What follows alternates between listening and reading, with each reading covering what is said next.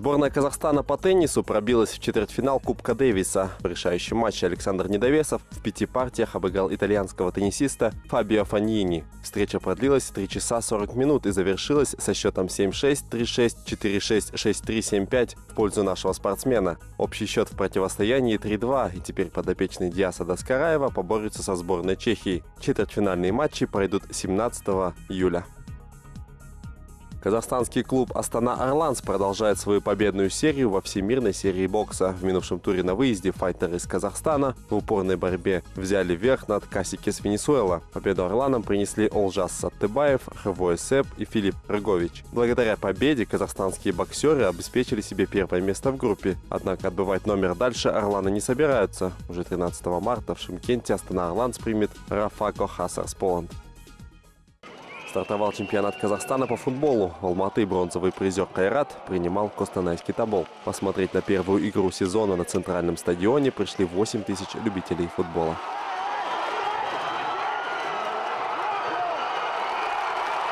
Алматинцы соскучились по большому футболу, и народная команда их не подвела. На протяжении всей встречи преимуществом владели подопечные Владимира Вайса. Трижды отличился Жерар Гоу, еще один гол на счету капитана Баужана Исламхана. В итоге эффектная победа Кайрата со счетом 4-0 приносит ей первую строчку в турнирной таблице. Мы сегодня играли более-менее сзади без ошибок. Где-то в концовке там что-то произошло, но очень плотно в обороне, креативно в атаке.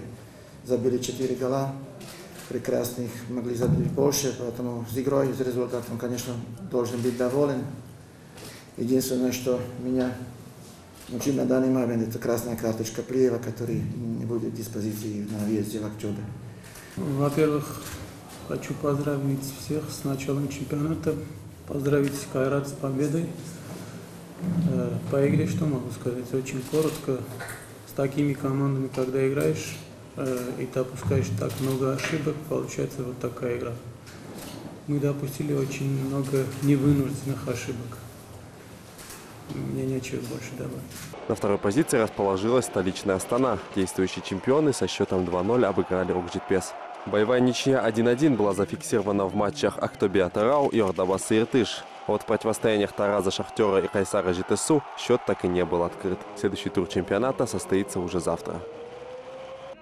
Алматы завершился зимний чемпионат города по футболу среди команд ветеранов. В решающем матче сошлись Раймбек Олд Бойс и Алматы. Встреча изобиловала силовой борьбой. Опасных моментов было немного, однако в основное время матча оппоненты успели обменяться голами. Овертайм победителя не выявил, и судьба трофея решалась в серии после матчевых пенальти. Здесь удачливее оказались футболисты Раймбека 2-1. Две таких, в общем-то, равных команды. Поэтому у нас последний спор решается или ну, в полуфиналах или в финалах. Поэтому мы уже хорошо друг друга знаем. Что касаемо финала, то здесь э, очень значит, э, строго отыграли в обороне все, поэтому в атаке у нас был момент, мы его, к счастью, решили. У них тоже был моментик, который э, заработали пенальти, в общем-то, тоже решили. Ну, я считаю, что закономерен результат. Бронзовые медали турнира достались клубу «Легион». Четверку сильнейших замкнул «Алтако». Тем временем продолжается четвертьфинальная серия плей-офф чемпионата Казахстана по хоккею с шайбой. Кокшетауский «Орлан» стал первым полуфиналистом, четыре раза обыграв Астану. В противостояниях Горняк-Намат, Иртыш-Арстан счет равный 2-2. А вот хоккейный клуб «Алматы» может впервые в истории пробиться в полуфинал уже завтра. Для этого подопечным Олега Балякина нужно победить на выезде от Арауски Бейбарес. Сейчас счет в серии 3-1 в пользу «Алматы». Пахаджан Рупиисов, Дана Касенова, Арсен Сандабаев. Спортивные новости. Телеканал Алматы.